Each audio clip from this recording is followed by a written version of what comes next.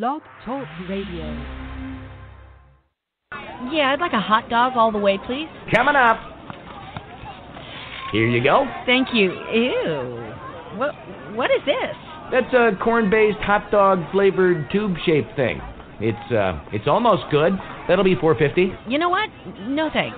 If almost good enough isn't good enough for you, why would it be good enough for your pet? Add kennel kelp to your furry friend's diet. Sprinkled on your pet's food, kennel kelp helps with arthritis pain and stiff joints. It can also reduce shedding, fill in missing areas, and improve their looks. Healthy pets show even more energy and have better attitudes. See results in 4 to 8 weeks.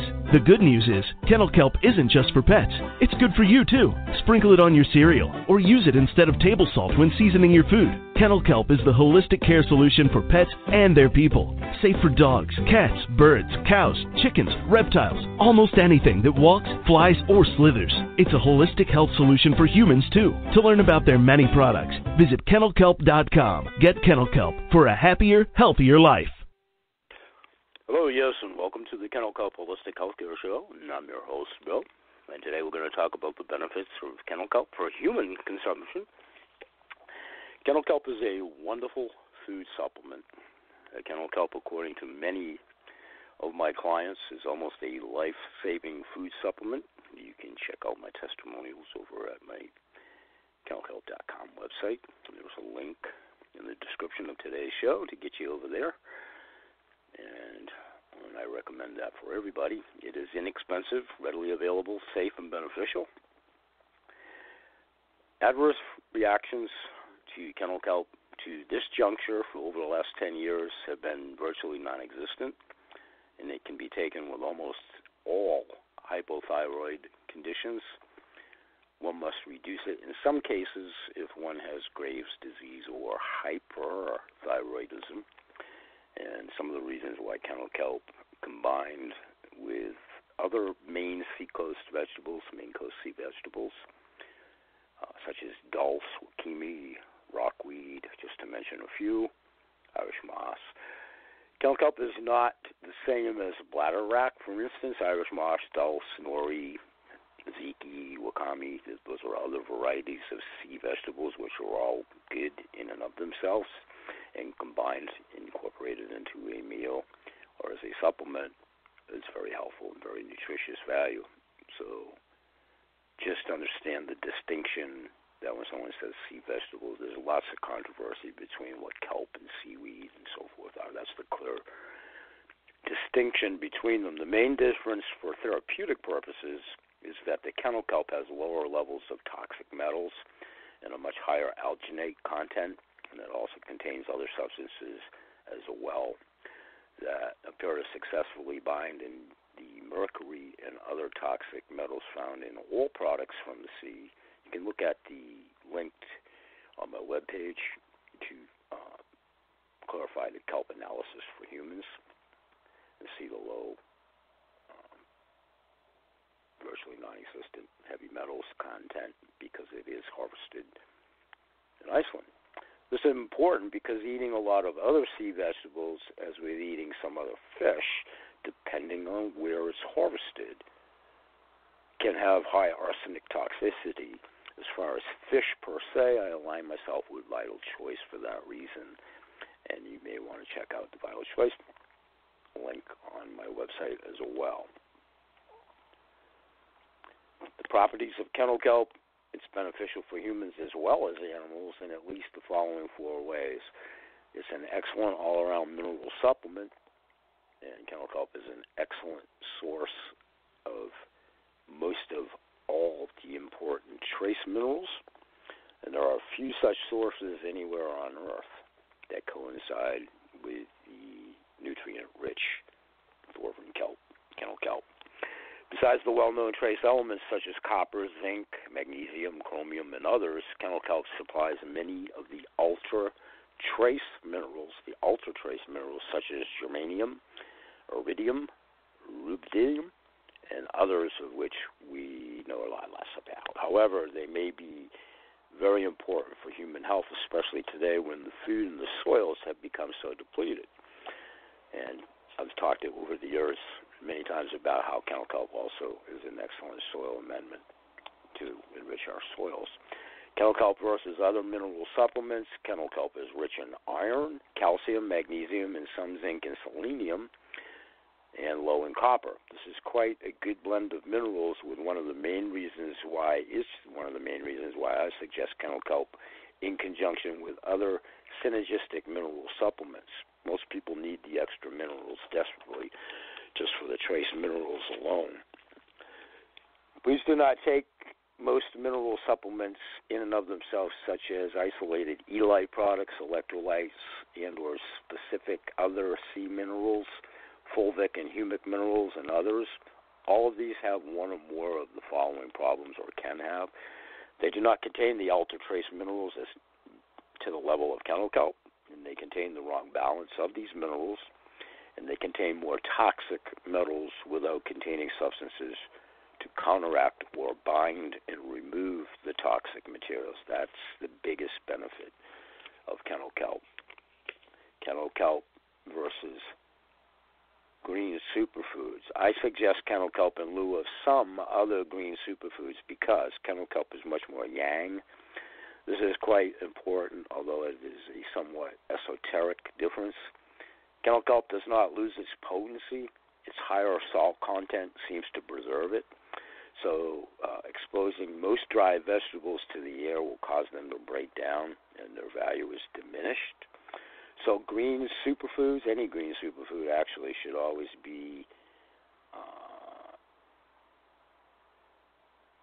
sure that it passes that litmus test. And if you're taking capsules, you may even want to put them in the freezer to accentuate the potency. It does not contain spirulina, chlorella, or blue green algae. These common ingredients in the superfood formulas work synergistically, however, with kennel kelp. Some superfoods build up in the liver, indicating that they are not compatible with human physiology, no matter what health benefits they may have. This would be a friendly suggestion to comply with the old adage an ounce of prevention is worth a pound of cure. Perhaps a more simply stated phrase would be do your homework. Kennel kelp has much more iodine, and the Kennel Kelp 1000i version has two times the iodine content. Again, please see my website, and uh, I find this is needed today, despite what some health authorities say. Kennel Kelp is less expensive. Now it's a great time for me to extend a 25% discount across the board to all of you on any and all of the items featured at my kennel kelp page, pertinent to kennel kelp in the various sizes. Should you be interested in ordering any of my BH Sales products, contact me prior to ordering so I can extend the 25% and just reference this Blog Talk radio show. Kennel Kelp's an excellent overall nutritional supplement in addition to its high trace mineral content 100 grams of kennel kelp also contains 1.7 grams of protein and vitamins A, B, C, D, E, and K. It is particularly rich in folic acid, and it can also contains many other phytonutrients found in plants, along with soluble fiber. And it even contains some fatty acids, including omega 3 fatty acids, and others. Kelp is a source of a special form of readily available calcium. This is a complex phenomenon because many foods contain calcium. However, I find that kennel kelp, carrots, carrot juice, sardines, and raw raw dairy contain the best forms of calcium needed today, in my layman's opinion. The calcium found in pasteurized and homogenized dairy, seeds and nuts, and in few other foods is not as well utilized for some region, which is not clear totally at this time. Kelp is much better for the physiology. It's an excellent source of bioavailable iodine. This is kennel kelp's best known advantage. It provides plenty of iodine, a mineral that most people need more of today due to the presence everywhere of iodine antagonists, bromine, chlorine, and fluorides. These interfere with our iodine uptake and utilization, causing widespread thyroid problems and many other health problems as well. That's why I also recommend if you are imbibing fish or looking for a good fish oil, I continue to recommend Vital Choice and Vital Choice Seafood and the other good sources of bio are other good sources of bioavailable iodine. Please read their safety report through the link at my website, as most food from the sea is now loaded with mercury depending on where it's harvested. Iodized salt provides some iodine, but it is not enough in almost all cases. Although the iodine in table salt, I would all recommend uh, Himalayan salt available through my friends over at Vitality Herbs and Clay that I blogged about and talked about in my last show. It's not that well utilized by people. Table salt. That's why I recommend Himalayan salt in lieu of and kennel kelp you can actually use in lieu of table salt and sprinkled on version.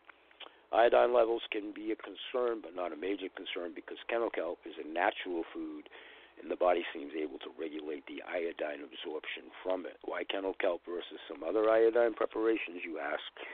I suggest kelp instead of Iodoral, Lugol solutions, and the over the counter brands of prolamine, iodine, and so forth and other iodine preparations because kelp's non-toxic, and almost all other kelp preparations, such as those that I just referenced, build up in the liver to some degree, indicating their toxicity, excuse me, toxicity level. Also, all single mineral products can interfere with the absorption of other minerals. Minerals all compete for absorption to some degree. So, taking a balanced food such as kennel kelp rather than a single mineral product appears to uh, be much safer for long term use, which most people need. Kennel kelp is often more effective, unique to its individual's own health scenario in all of my clients' cases. This may be contributory to the fact that it's a natural food and perhaps better utilizes is better utilized. Kelp also contains 20 or more other trace minerals which is a distinct advantage as these are needed today by almost everybody. Kelp is less expensive, especially considering that it is a green food supplement as well as a source of iodine. Note, in a rare few cases, I have been told that Lugol's solution or, or Iodoral was used for a short time uh, by some clients that opposed uh, concerns to prevent goiter. And I don't know why that is so, but it would be my best guess that the body needed this particular form of the iodine. You would have to consult with those respective uh, physicians. If you experience goiter, always confer with your physician, as the Lugol's solution would eventually not be needed, as it is indeed a little bit toxic. So, again, I recommend kelp in lieu of, but always consult with your physician. And do check out the analysis page and see how low the arsenic is. The mercury and arsenic problem in any kennel kelp you can look at my old website. The link is on my homepage for the frequently asked questions and look specifically at frequently asked question number nine and number 10. Number 9, does kennel kelp have arsenic in it? The answer is there is indeed a small amount of arsenic in kennel kelp and all kelp. The amount in a five pound bag of kennel kelp is smaller than the tip of a toothpick, and the average amount in a five pound bag is you would have to go out four zeros, point four zeros, and then a three parts per million. So to compare it with other products, if you eat just one apple, you're eating many times more arsenic than is in an entire five pound bag of kennel kelp. The amounts are too small to cause any alarm. And the number 10 question, if you do procure that yourself and seek it out, the number 10 question is can, can, can excuse me, can, can humans eat kennel kelp? And I eat it every day, have for 10 years. I actually sprinkle it on my own cereal in the morning, and I add it in lieu of table salt for um, seasoning other food. A drawback in any kelp and in most other sea products is the presence of toxic metals, mainly mercury and perhaps arsenic, in higher levels in other products. This is why you want to look at Thorvin and the 35 plus year history. Read about them at the parent website. Interesting thing is that using kennel kelp, I have not found evidence of greater mercury toxicity in any animals and or humans that I've serviced over the last 15 years. This is not true when um, one uses some of the other sea vegetables, depending on the derived source, such as dulse, wakame, and um, nori, and others. The parent company of Kennel Kelp, Thorvin Kelp, which I say, has the 35 plus year history and researching this further to make sure that the kennel kelp is a safe product. It is USD organic, USDA organic, and it's the only OMRI rated kelp for on the market. Confusion about the word kelp, as I said earlier, one fact that I have noticed and noted over the years that occasionally a bag of so called kelp is not really kelp, depending on its source from other uh, suppliers that are claiming it as such. But it may indeed be bladderwrack or another family strain of seaweed. In these cases, there can be higher toxic levels to your homework. Adverse reactions to any kelp. Occasionally, a person has a reaction to using any kelp. The main ones sometimes include irritability, perhaps nausea, and a few cases of hair loss. Most reactions are temporary. None of my clients and or animals have ever experienced that.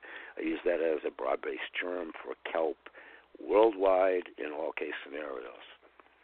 Most of them are due to the removal of toxic elements such as chlorine, bromine, fluorine compounds from the body. In most cases, all one has to do is reduce the dose for a while if you're experiencing any of those problems and then work up slowly with the other brands of kelp, usually. One client has reported to me that he had a reaction to another company's kelp that went away from when he took zinc along with that particular kelp. I think you'll find, as I suggested to him, by taking kel- kennel kelp and, uh, and uh, diminishing the extra zinc, because the zinc content is quite good in kennel kelp. So again, to this juncture, I've been fortunate to have absolutely no adverse reaction in my own body or in my pets, to give the product to them, or any of my clients or their pets. And I've never had a complaint about how good of a soil amendment it is. In fact, everyone seems able to take kennel kelp eventually if the person follows a nutritional balancing program with other supplements that they may be administering to themselves and or their animals or both and or applying as their soil amendments. Kennel kelp is a more uh, more yang food and food supplement. This is an interesting fact about kennel kelp and the other sea vegetables compared to land grown vegetables. Kelp, in particular, is very yang product, meaning rich in salt, exposed to a lot of sunshine, and of a more contracted, drier nature than the water that is expelled from it. Such qualities are needed today because most food has become far more yin, which means or expanded in cold thanks to genetic modification and other reasons such as heavy pesticide use. I'll be talking about pesticide use in a new study that came out as to how contributory that is to damaging brain cells. And little sidebar, uh, the consensus, depending on who you talk to, is America is becoming dumber by the day. Take a look at pesticide use on vegetables. I'll get back to that in another, another time, another show. This is where I usually segue into how nutrient rich kennel kelp is when utilized as a soil amendment, but I'll confer you and refer you to my website for today. I'll talk about the soil amendment applications in another episode, but it is excellent in the soil. Kennel kelp is therefore a balancing food, and this may be one reason why it seems to work so well with no problems in my experience. The yang quality of the kennel kelp does, however, make it a more powerful therapeutic food, almost like an herb, and this could be one reason why it causes more reactions sometimes when you compare it to like eating zucchini or broccoli in some cases. This may also be a factor in why the toxic metals in some kelp, in particular, are not well absorbed at all and that's being researched more and more, especially post a few years back the tragedies of Fukushima, especially. Doses of my kennel kelp uh, adults can usually take at least three 600 milligram servings of kennel kelp daily, preferably with meals.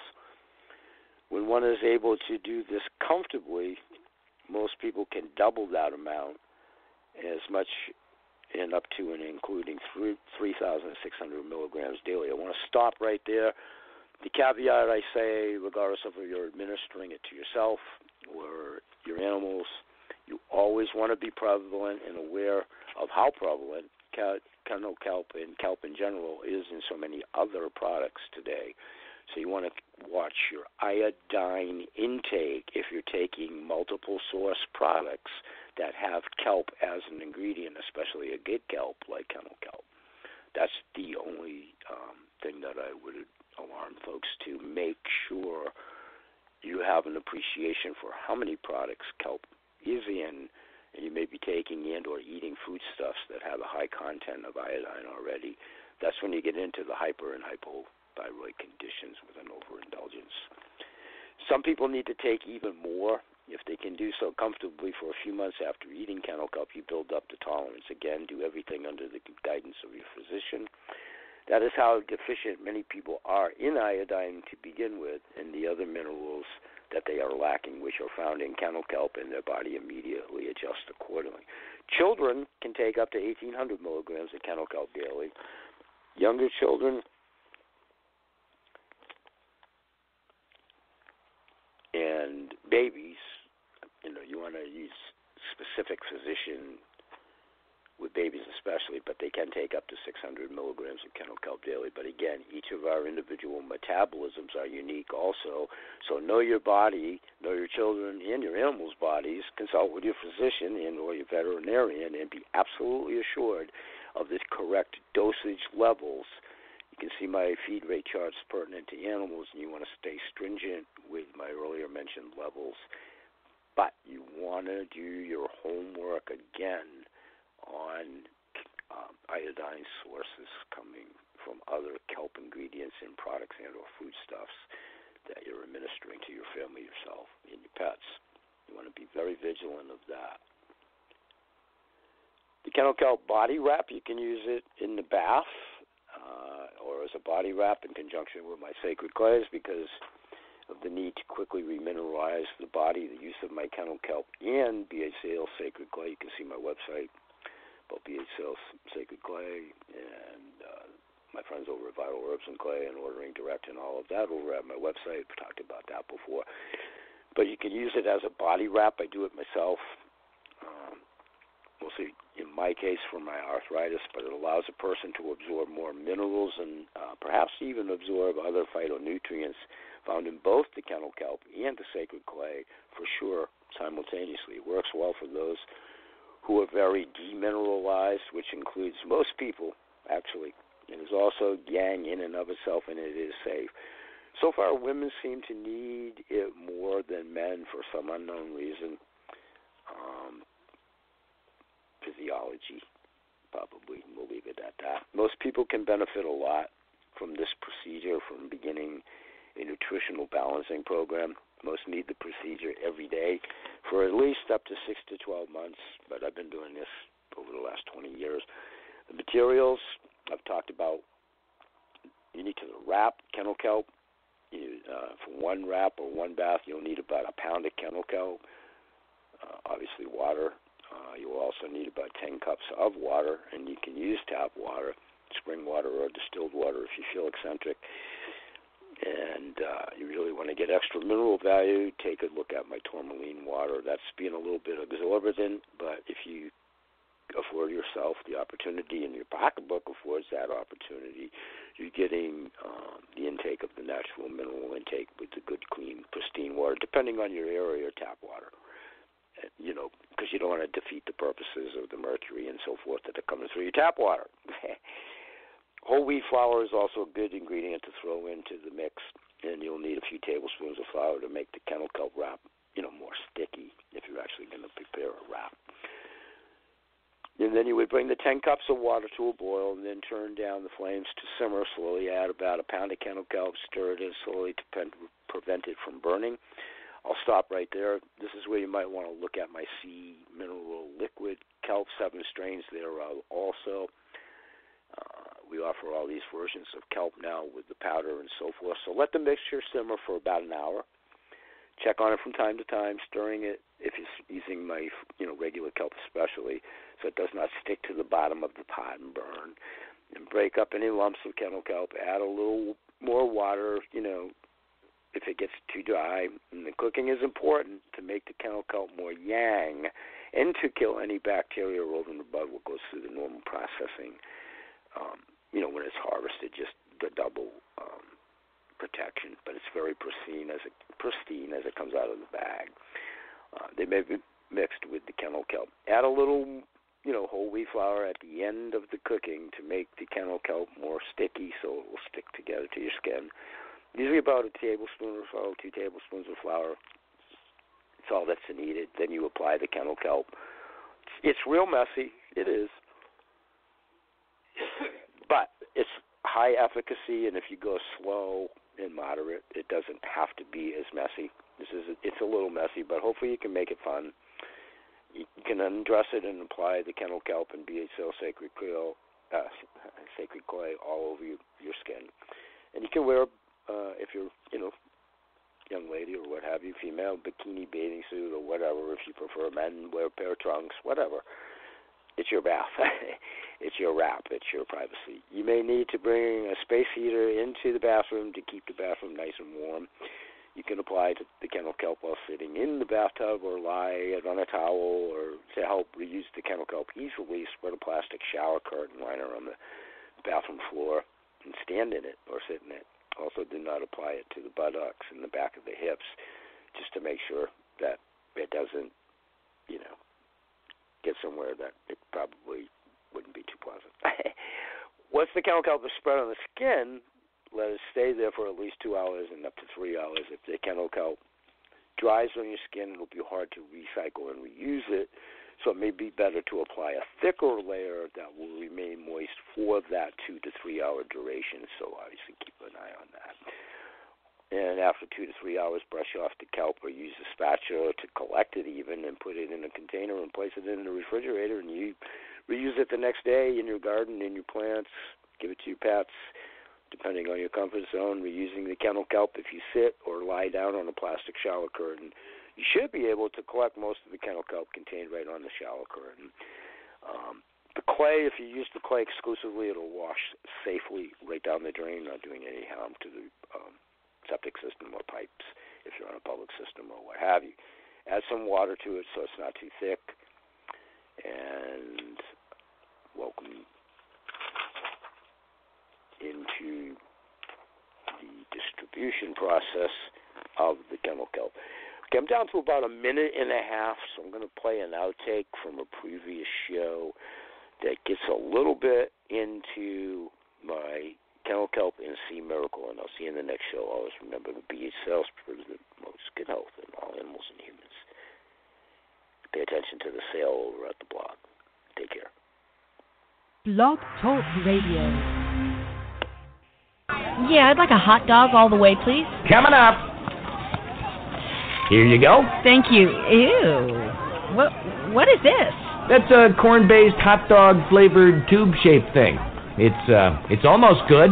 That'll be 450. You know what? No thanks. If almost good enough isn't good enough for you, why would it be good enough for your pet? Add kennel kelp to your furry friend's diet. Sprinkled on your pet's food, kennel kelp helps with arthritis pain and stiff joints. It can also reduce shedding, fill in missing areas, and improve their looks. Healthy pets show even more energy and have better attitudes. See results in four to eight weeks. The good news is, kennel kelp isn't just for pets. It's good for you too. Sprinkle it on your cereal or use it instead of table salt when seasoning your food. Kennel kelp is the holistic care solution for pets and their people. Safe for dogs, cats, birds, cows, chickens, reptiles, almost anything that walks, flies, or slithers. It's a holistic health solution for humans too. To learn about their many products, visit kennelkelp.com. Get kennel kelp for a happier, healthier life. Hi, I'm Dr. Judy Morgan. I'm at the AHVMA convention in Augusta, Georgia, and I am meeting so many amazing people and learning so many things about some of the awesome products that are available out there, and you're going to love this one. I just learned so much about seaweed that uh, kelp, I, I don't even know what to call this, but it's really, really cool. So I'd like to introduce you to Bill Wolf, who's the CEO of Thorvin. And uh, this is some really cool stuff. So tell us about this, why you got into this,